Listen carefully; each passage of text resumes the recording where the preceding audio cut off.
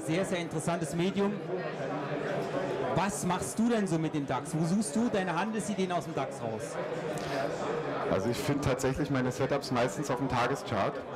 Ähm, aber ich, ich handle den DAX kurzfristiger. Also das heißt, ich versuche Trades aufzubauen, die entweder innerhalb des Tages laufen oder ähm, eben äh, zwischen einem, einer Stunde und vielleicht zwei, drei Tagen Haltedauer.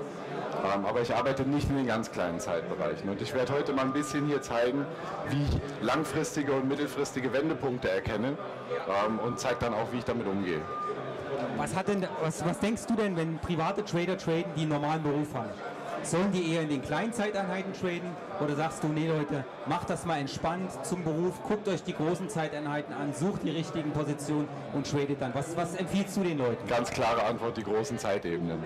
Also kleine Zeitebenen sind für, für private Händler, die einen normalen Job haben und vielleicht nur nachmittags und abends Zeit haben, keine Chance. Ja, das ist so zeitaufwendig und so zeitintensiv, da überhaupt erstmal profitabel zu werden, dass es ein Privater normalerweise nicht schafft. Im Swing-Trading-Bereich auf der größeren Zeitebene ist das gar kein Problem. Da kann man sehr gut mitarbeiten, auch wenn man eben nur abends Zeit hat, aber nicht kurzfristig.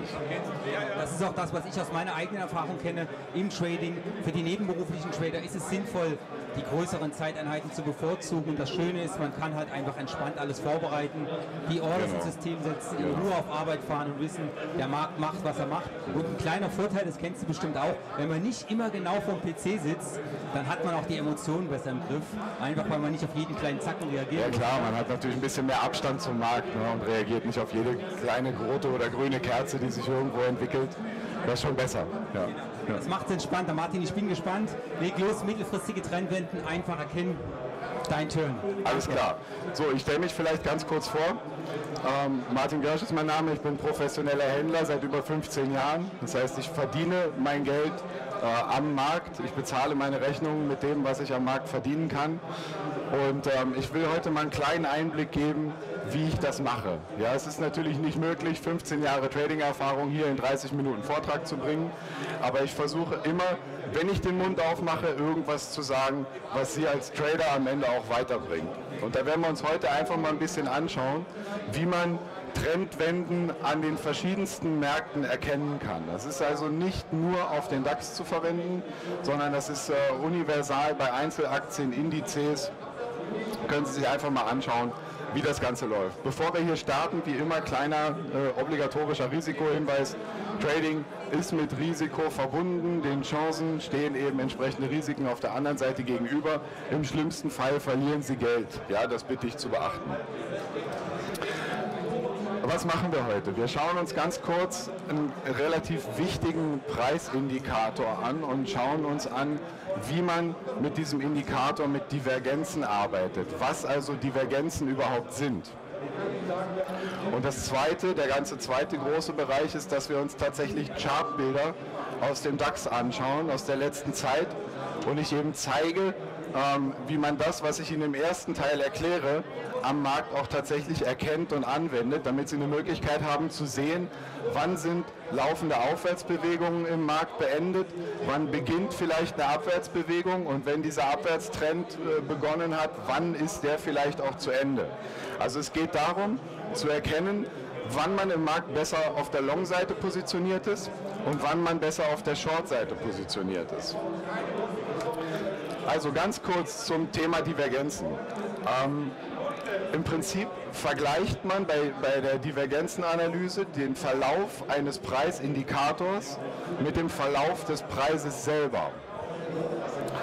Ähm, und dadurch bekommt man zusätzliche Informationen, die, die man nicht auswerten kann, wenn man nur auf das reine Chartbild schaut. Der große Vorteil ist, dass wir in der Lage sind, Trendwenden zu antizipieren, bevor sie da sind. Sie sind also auf einen möglichen Trendwechsel einfach vorbereitet. Ähm, dadurch, dass Sie auf einen Trendwechsel vorbereitet sind, kommen Sie sehr früh in eine, in eine Trading-Position rein. Das heißt, für, für einen Trendfolger läuft das normalerweise so, dass man darauf wartet, bis sich ein intakter Trend ausgebildet hat und irgendwo in diesen Trend einsteigt. Dann sind die meistens schon sehr weit gelaufen und sind vielleicht schon dabei, ähm, den Trend wieder zu beenden und so langsam die Richtung zu drehen. Und wir versuchen jetzt eine Möglichkeit zu finden, diese Trendwechsel zu antizipieren und möglichst früh in der Position dabei zu sein, dass wir nachher das Maximale aus dem laufenden Trend rausnehmen können. Ja? Ähm, man unterscheidet dabei zwischen positiven und negativen Divergenzen. Ja? Ich will jetzt gar nicht, dass Sie die ganzen Texte lesen. Wir schauen uns das viel lieber auf dem Bild an. Da kann man das sauberer erklären. Also was wir hier haben, ist ein Kursverlauf ähm, in einem Aufwärtstrend. Ja, also in dem Moment, wo wir einen bestehenden Trend haben, funktioniert das nach Dow-Theorie relativ einfach. Wir haben steigende Hochs und steigende Tiefs, die einen Aufwärtstrend äh, ausmachen, fallende Hochs und fallende Tiefs, die einen Abwärtstrend ausmachen. Und das, was wir uns anschauen, ist, wenn der Preis ein neues Hoch gemacht hat, wie verhält sich der Indikator? Wenn wir im Indikator auch ein neues Hoch sehen, dann haben wir eine sogenannte Konvergenz, dann ist alles in Ordnung, dann sind Trends intakt, dann kann man auch weiter in der Trendrichtung investieren. Wenn wir aber sehen, dass ein Indikator und ich benutze dafür meinen ganz normalen Standard RSI in der 14er Einstellung, also das, was wirklich in jedem Trading-Programm vorhanden ist, was Sie mit jeder Plattform traden können, da schauen Sie sich einfach an, eine Preisentwicklung am Markt, wenn der Markt neue Hochs macht, wie entwickelt sich der RSI in der 14er Zeitebene. Und in dem Moment, wo der kein neues Hoch mehr macht, sondern ein tieferes Hoch, können Sie davon ausgehen, dass diese Aufwärtsbewegung beendet ist. Und wenn Sie sich das auf dem Tageschart anschauen, dann haben Sie super gute Möglichkeiten, kurzfristige und mittelfristige Trades im DAX aufzubauen. Das ist eine sogenannte negative Divergenz, weil wir in der Situation davon ausgehen, dass die Kurse fallen, dass wir also von einem Aufwärtstrend in einen Abwärtstrend drehen. Auf der umgekehrten Seite sieht das Ganze genauso aus, wenn wir in einem intakten Abwärtstrend sind und der Indikator bildet in dem Moment, wo der DAX ein neues Tief ausbildet, kein neues Tief mehr, dann können wir davon ausgehen, dass diese Abwärtsbewegung beendet ist. Ja, ich habe gleich noch eine ganze Menge Chartbilder, wo man das schön sieht, wie es nachher in der Realität ausschaut. Ja, es ist ja leider nicht immer so, dass wir so eine schöne äh, Darstellung haben, wie das in der Theorie ist. Aber das ist einfach, um das Konzept zu erklären. Was sind klassische positive und negative Divergenzen? Das Ganze muss nicht unbedingt so gestaltet sein, dass wir ein neues Hoch im Markt kriegen. Das reicht auch, wenn sich etwas wie ein Doppeltop ausbildet. Oder auf der anderen Seite ein Doppelboden. Ja, das ist auch eine charttechnische Formation. Wir haben ja gestern hier viel gesprochen über charttechnische Formationen im Gold. Das funktioniert natürlich äh, im DAX genauso. Doppeltop ist eine Trendwendeformation, Doppelboden ist eine Trendwendeformation. Die haben an sich schon eine Bedeutung. Hier ist Nachfrage reingekommen auf diesem Level. Auf diesem Level ist Angebot reingekommen. Das ist am Ende immer wieder das Gleiche. Angebot und Nachfrage bestimmen die Preise.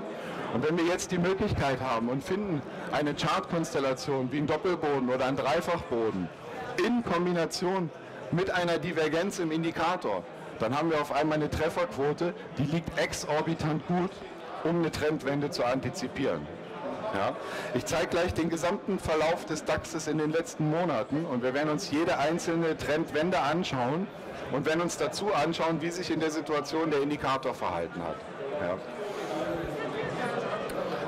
Ähm, wir haben also zwei Möglichkeiten. Wir haben den steigenden Preis oder das Doppeltop mit einem fallenden Indikator oder wir haben einen steigenden Preis mit einem Doppeltop im Indikator. Ja, das sind also drei verschiedene Möglichkeiten, Divergenzen am Markt zu erkennen. Wichtig ist immer, macht der Preis ein neues Hoch und der Indikator, der RSI, kein neues Hoch mehr, haben wir eine Divergenz. Macht der Preis ein neues Tief, der Indikator kein neues Tief mehr, haben wir eine Divergenz. Und dann gehen wir davon aus, dass sich die Richtung am Markt ändert. Ja? Wie schaut es aus? Wir sind hier 2013 im DAX. Wenn Sie sich daran erinnern, wir haben von 2009 bis 2013 eigentlich einen super sauberen Aufwärtstrend gehabt. Da gab es nicht viel zu überlegen. Und das, was ich da meine, ist, ähm, ja, der Preis macht neue Hochs, der Indikator macht neue Hochs, dann ist alles in Ordnung. Ja, dann brauchen Sie sich nicht weiter darum kümmern. Dann setzen Sie einfach weiter Ihre Trendfolgestrategien um. Und das ist etwas, das funktioniert nicht nur im DAX. Das funktioniert in jedem Rohstoff. Wenn Sie Gold handeln, wenn Sie Öl handeln. Das funktioniert in jeder Einzelaktie. Ob das eine Adidas ist in Deutschland ähm, oder eine Procter Gamble in den USA, das spielt keine Rolle. Wenn Sie einen liquiden Wert haben, den genug andere Händler traden, dann funktioniert dieses Konzept der Divergenzen ich will hier gar nicht groß darauf eingehen, wie dieser RSI berechnet wird. Ja, das ist am Ende für Sie als Händler auch irrelevant, sondern es ist viel, für Sie viel wichtiger zu wissen, worauf muss ich achten im Chartbild. Und hier haben wir eine Situation, wir machen drei neue Hochs hintereinander im DAX und machen dreimal keine neuen Hochs im Indikator. Das heißt, von hier an, eigentlich schon von hier an, gehe ich in die kleine Zeitebene und schaue drauf, ob sich in der kleinen Zeitebene ein neuer Abwärtstrend entwickelt. Und sobald das der Fall ist, bin ich auf der Short-Seite unterwegs. Das erste, was ich mache, ist, ich stelle meine Long-Positionen glatt. Ich möchte in dem Moment, wo der Markt eine negative Divergenz zeigt, nicht mehr längerfristig Long sein. Ich stelle meine Long-Position glatt und ich bereite mich auf eine Short-Position vor. Ja? Was passiert? Wir kriegen eine Wende im Markt mit einer längerfristigen Trendabwärtsbewegung. Dann haben wir hier von, von gestern, ja, ähm, gestern haben wir uns das im Öl angeschaut, Trendwendeformation, SKS-Formation, hatten wir hier schon 2014 im Markt, hatten wir jetzt in diesem Jahr gerade wieder. Auf dem Tageschart zu sehen, auf dem Wochenchart zu sehen, SKS-Formation ist etwas, was im DAX ganz, ganz hervorragend funktioniert. Wohlgemerkt ab Tageschart aufwärts, auf dem Tageschart und auf dem Wochenchart. Können Sie sich sowas ganz hervorragend anschauen in dem Moment, wo man eine Trendwendeformation erkennt, die so deutlich gebrochen wird wie da, haben wir einen neuen Trendverlauf. Dann hat sich hier in 2014 wieder ein Abwärtstrend entwickelt. Was sehen wir hier? Innerhalb dieses langfristigen Abwärtstrends. Wir machen auf dem Tageschart hier deutlich neue Tiefs, deutlich neue Tiefs im DAX und der Indikator macht kein neues Tief mehr.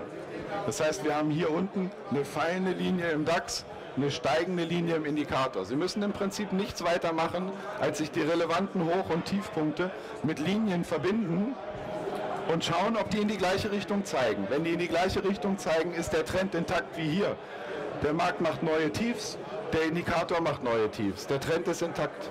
Und zwar so lange, wie das Ganze nicht mehr funktioniert. Jetzt haben wir hier neue Tiefs, haben hier aber ein steigendes Tief. Also Aufwärtstrend. Ja? Schauen wir uns den Aufwärtstrend an. Fällt irgendwas auf am Ende vom Aufwärtstrend? Da oben ist das Top. Ne? Das Top im Indikator ist aber schon hier. Okay, der Preis macht noch einmal ein neues Top. Der Indikator macht das nicht mehr mit. Der hat das den ganzen Weg über hier mitgemacht. An der Stelle macht er es nicht mehr mit. Was passiert am Markt? Wir drehen in einen längerfristigen Abwärtstrend. Okay? Und das ist ein Konzept, das können Sie, wie gesagt, überall umsetzen. Aktien, Gold, Öl, jeder Rohstoff, selbst bei Währungen können Sie sich das anschauen.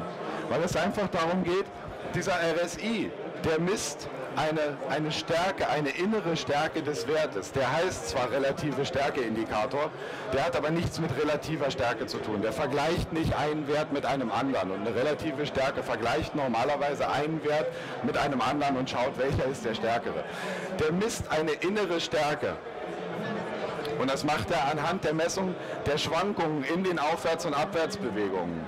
Und wir kommen hier eine, an eine Stelle, wo in der Aufwärtsbewegung einfach nicht mehr genug Druck ist. Ja? Da ist nicht mehr genug Druck, dass die Bewegung weitergehen kann. Das wird uns hier angezeigt und logischerweise fällt der Preis dann. Wie lange fällt er? Naja, so lange, bis wir hier das erste Mal ganz deutlich sehen, nochmal ein neues Tief im Preis mit keinem neuen Tief mehr im Indikator. Wann erkennen Sie das? Im Prinzip erkennen Sie das immer schon in dem Moment, wo sich hier so ein ganz kleiner Aufwärtstrend entwickelt. An dem Punkt, wo wir über das hochgehen, an dem Punkt bin ich long. Weil dann ist das Tief ausgebildet. Wir haben hier ein fertiges Tief. Wir haben hier ein fertiges Tief. Und das hier liegt deutlich höher als das. Und das zeigt mir an, dass der Markt nach oben will. Okay? Gibt es irgendwelche, irgendwelche Fragen zu dem Ansatz? Ich glaube, das ist sehr, sehr einleuchtend und sehr logisch. Schauen wir uns den nächsten Part an. Was sehen wir hier? Ein Hoch und ein höheres Hoch. Und hier ist das Ende der Bewegung, weil das Hoch ist niedriger als das. Der Indikator bestätigt das neue Hoch im Preis nicht mehr. Okay? Und jetzt können Sie sich einfach mal zu Hause, machen Sie sich Ihre Charts auf, gehen Sie mal auf den Tageschart in irgendeinem beliebigen Produkt, blenden Sie sich, hier steht es, den RSI ein, 14er Einstellung, so wie der in, jedem Handels, äh, in jeder Handelsplattform einfach äh, aufgeht. Und schauen Sie sich das einfach mal an. Wie verhalten sich die Hochs und die Tiefs vom Preis zum Indikator? Dann kriegen Sie wirklich ein Gefühl dafür, wie man diese Situation sehr, sehr einfach erkennt. Geht's weiter. 2016, wir sind in dem intakten Abwärtstrend. Jetzt haben wir hier die Situation, wir haben ein Doppeltief im Indikator, machen kein neues mehr, haben aber ganz deutlich ein neues Tief im Preis gemacht. Dieses Preistief wird nicht bestätigt. Was heißt es für uns als Händler? Wenn wir Short sind, an der Stelle, wo wir über das kleine Zwischenhoch gehen, stellen wir unsere Shorts glatt und drehen auf die Long-Seite. Okay? Das heißt jetzt nicht, dass ich so eine gesamte Abwärtsbewegung in einem Move mitnehme, um Gottes Willen. Ja? Aber das heißt auch nicht, dass ich die ganze Aufwärtsbewegung in einem Move mitnehme. Aber das heißt für mich als Händler, ich möchte, solange wie sich jetzt hier diese Konvergenz fortsetzt, ja, äh, neue Hochs im Preis werden von neuen Hochs im Indikator begleitet. Solange die ganze Strecke möchte ich Long-Positionen aufbauen und keine Short-Positionen, weil ich davon ausgehen kann, dass das Top noch nicht erreicht ist. Ja? Wann ist das Top erreicht? Meistens dann, wenn wir eben in der Bewegung hier äh, so eine deutliche Abweichung sehen. Ja, es ist wieder genau dasselbe. Wir sind in einem intakten Aufwärtstrend. Wir haben neue Hochs im Preis, haben keine neuen Hochs mehr im RSI und der Markt bricht zusammen. Bricht tatsächlich buchstäblich zusammen. Ja. Hier haben wir jetzt mehrere Dinge, die zusammenkommen. Wir haben ein Dreieck, so wie so ein Keil, haben wir gestern im Gold uns angeschaut, trendbeendende Formation, ganz häufig, alles was so Richtung Keil geht, sind ganz häufig trendbeendende Formationen in der langen Zeitebene. Und das Ganze hier kombiniert mit einem Doppeltief im Preis, steigende Tiefs im Indikator, Abwärtsbewegung beendet, höchstwahrscheinlich. Ja.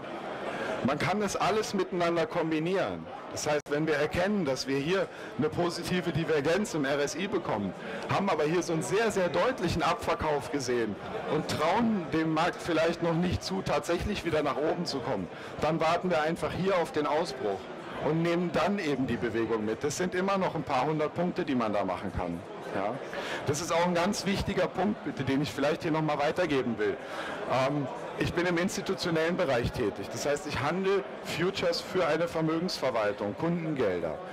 Und ich weiß, dass private Investoren häufig versuchen, die Tiefpunkte zu er, äh, erwischen zum Einkaufen und die Hochpunkte erwischen wollen zum Verkaufen. Und ich garantiere Ihnen, das funktioniert nicht. Außer vielleicht rein zufällig eins von tausend Malen. Das ist nicht möglich. Und es ist auch nicht unsere Aufgabe als Trader. Unsere Aufgabe als Trader ist es zu erkennen, in welcher Richtung liegt der Vorteil und wenn diese Bewegung entsteht, in der Lage zu sein, uns ein Stück aus dieser Bewegung rauszuschneiden und davon zu profitieren. Sie können hier mit, mit Brokern wie Tickmill gehebelt handeln. Sie brauchen keine riesigen Konten, um ganz gute Gewinne zu erzielen. Ja? Ähm, und von daher ist es einfach nicht nötig zu versuchen, dieses, diese Tiefs zu picken. Man sieht das sehr, sehr schön im DAX. Ich weiß nicht, ob Sie sich das schon mal angeschaut haben. Es gibt einen, einen Indikator, der ist frei zugänglich auf der Seite der Euwax. Euwax ist die Zertifikatebörse, wo die ganzen Zertifikate und Optionsscheine gehandelt werden. Das Ding nennt sich Euwax Sentiment. Wenn Sie da mal reinschauen, dann sehen Sie genau, wie die Masse der Privatanleger handelt. Und ich garantiere Ihnen, in dem Moment, wo wir hier unten sind, sind die zu 80, 90 Prozent short. Und je weiter wir nach oben laufen, umso mehr short gehen die. Ja? Weil sie sehen, wir kommen hier nach oben, aber die Bewegung ist ja eigentlich runter. Also müssen wir, je weiter der Markt steigt, umso mehr Shorts werden aufgebaut. Und die Extrempositionierung haben wir ganz häufig da, wo die Bewegung zu Ende ist. Ähm, das können Sie auch innerhalb des Tages sehr, sehr gut benutzen. Das ist ein Kontraindikator.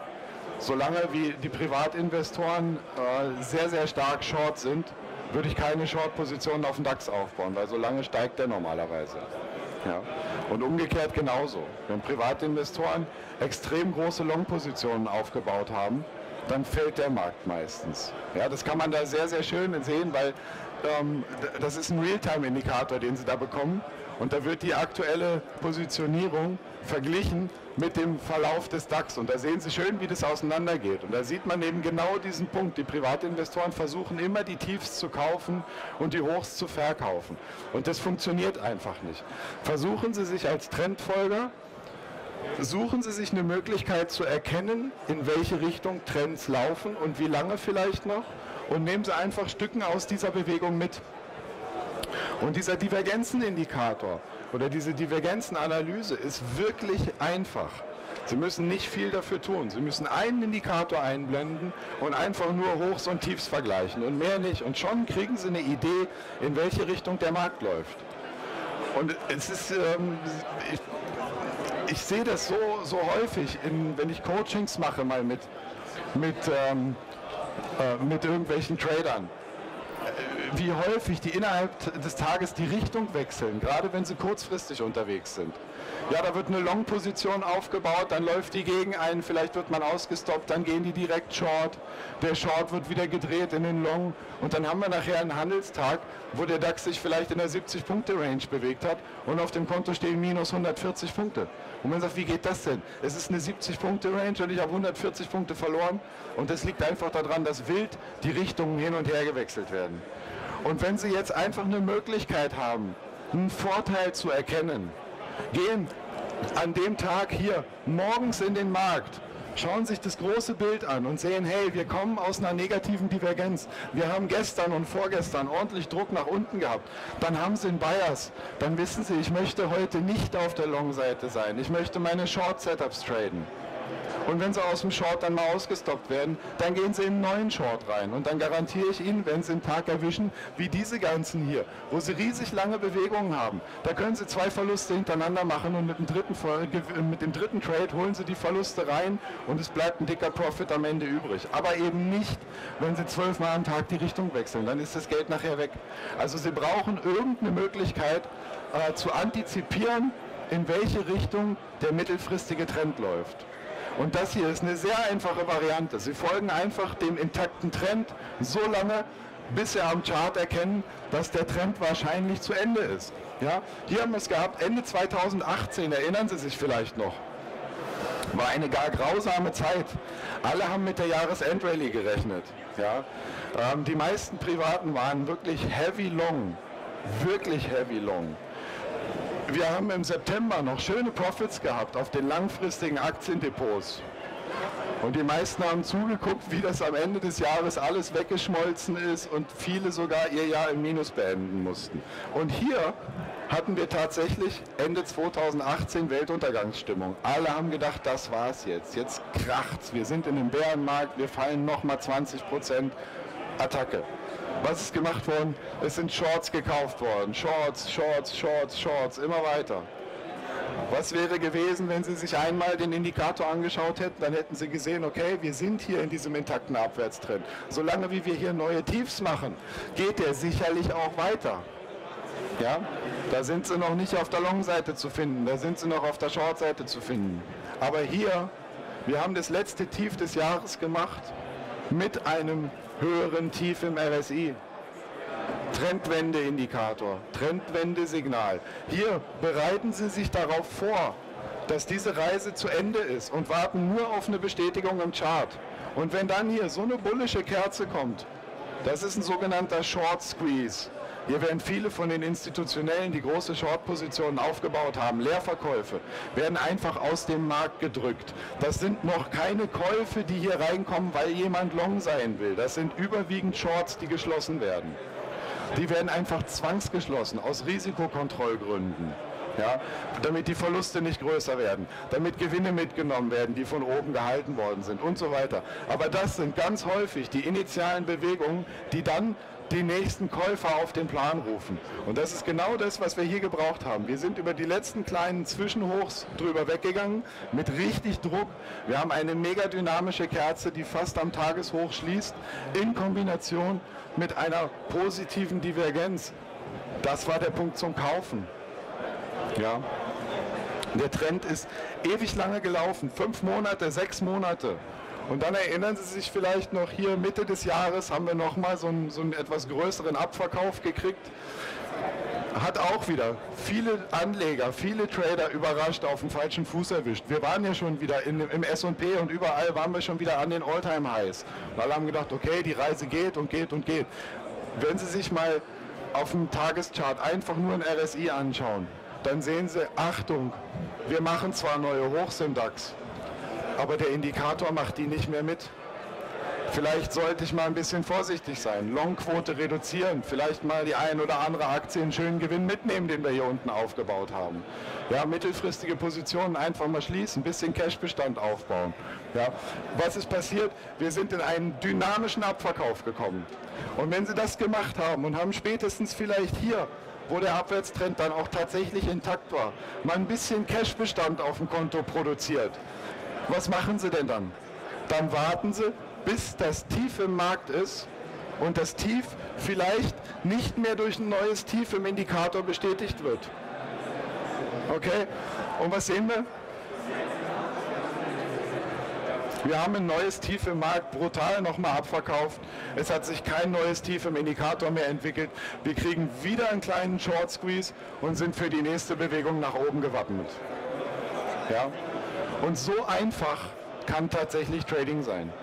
Das ist eine ganz simple Möglichkeit, die jeder, der hier steht, ab Montag bei sich zu Hause benutzen kann, um in Einzelaktien oder in Indizes abzuschätzen, bis wohin kann die Bewegung noch laufen. Ja? Schauen wir uns das jetzt hier aktuell an. Wie sieht es denn aus? Wir sind da oben 13.200 und da stehen wir jetzt immer noch ungefähr. Ja, das ist ein ziemlich aktuelles Chartbild. Wir haben ein deutlich neues Hoch gemacht im DAX. Aber unser Indikator hat auch noch ein neues Hoch gemacht.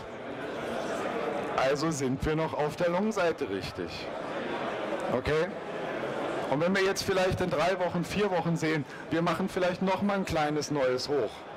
Und der Indikator, der geht aber nicht mehr bis 80, der geht im nächsten Hoch vielleicht nur noch bis 75 und kommt dann mit dem Preis runter. Dann wissen wir, aha, ja, vielleicht geht es die nächsten Wochen mal wieder ein bisschen abwärts. Was ja völlig normal wäre, ja, vielleicht die alten Hochs hier nochmal testen oder so. Das ist ja ganz, ganz normale Marktbewegungen sind das. Aber ich glaube, ich habe Ihnen jetzt eine Möglichkeit gezeigt, wie Sie relativ einfach versuchen können, abzuschätzen, wie weit das Ganze noch gehen kann und wann man anfangen sollte, sich auf eine Wende vorzubereiten.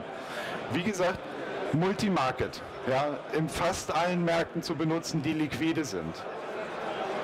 Ja, ähm, falls Sie das mal interessiert, wie wir das als, als Händler so von, von Tag zu Tag machen und so auf Daily-Basis das Ganze machen. Es gibt hier bei Tickmail äh, jeden Tag kostenlos Marktanalysen. Da werden drei Trade-Situationen vorgestellt, jeden Handelstag morgens um, um 8.30 Uhr, glaube ich, ist das so ungefähr für eine halbe Stunde. Das macht mein netter Kollege, der Mike Seidel, der jetzt gerade nicht mehr hier steht. Das finden Sie auf der, auf der Webinar-Seite von Tickmill. Einfach unter täglich neue Handelsideen, Mike Seidel. Und wenn Sie jetzt vielleicht interessiert, was der Görsch sonst so macht, der Mike macht Urlaub ähm, in einer halben Woche. Und da werde ich ihn ein paar Tage vertreten und dann werden Sie von mir da morgens die Analysen sehen. Wir schauen auf die großen Indizes, wir schauen auf die großen Währungspaare, wir schauen uns anschauen, wir werden uns ein bisschen anschauen, wie die Chartbilder aussehen, wir werden eine Trendanalyse machen und dann werden wir schauen, was man vielleicht innerhalb des Tages so handeln kann. Da ist er, der gute Mann, der Hat das der sonst Martin normalerweise sich macht. jetzt schon selber ja? angekündigt für nächste Woche. Danke auch, dass du meine Urlaubsvertretung übernimmst. Also wer diese Sendungen morgens noch nicht kennt, einfach der Seite, der Internetseite bzw. der Facebook-Seite von Tickmill Deutschen Like geben. Da kann man das Ganze kostenfrei kostenfrei verfolgen oder aber man geht mal einfach auf die Website von Tickmill Deutsch, beziehungsweise von Tickmill, da kann man sich auch anmelden. Und das ist, ja, danke Martin dafür. Da gibt es halt, der Martin hat jetzt schon einen kleinen Einblick gegeben. Jeden Morgen einfach ein bisschen was, wo es sich lohnt hinzuschauen, weil das ist ja genau das, was wir Trader brauchen. Wir brauchen Charts, in den möglicherweise Action kommt, wo wir dann unsere Handelsideen bringen können und das dazu dann von Martin ab nächste Woche Mittwoch, Montag und Dienstag mache ich es noch und dann legt der Martin den Rest der Woche los. Ich danke dir auch dafür, Martin. Kein Problem. Für die Zeit Gerne. Ja, und ich denke, das ist was, was wir alle brauchen. Ja, auch für Sie vielleicht interessant, einfach mal zu gucken, wie, wie gehen denn die Jungs am Markt vor, die das wirklich jeden Tag von morgens bis abends machen, die eigentlich nichts anderes zu tun haben, außer mal irgendwo auf der Messe zu stehen. Ähm, dann sieht man einfach mal, wie so die, die ein bisschen professionelleren Trading-Ansätze laufen und ich glaube, da kann man auch als Privater unheimlich viel von lernen. Ja, kann ich nur empfehlen. Schauen Sie sich das an. Ansonsten bedanke ich mich nochmal hier recht herzlich, dass ich äh, heute die Möglichkeit hatte, so ein paar Worte zu sagen. Hoffe, ich konnte Sie vielleicht in Ihrem eigenen Trading ein bisschen weiterbringen und wünsche Ihnen dann noch eine ganz hervorragende Messe. Ja, vielen Dank. Vielen Dank.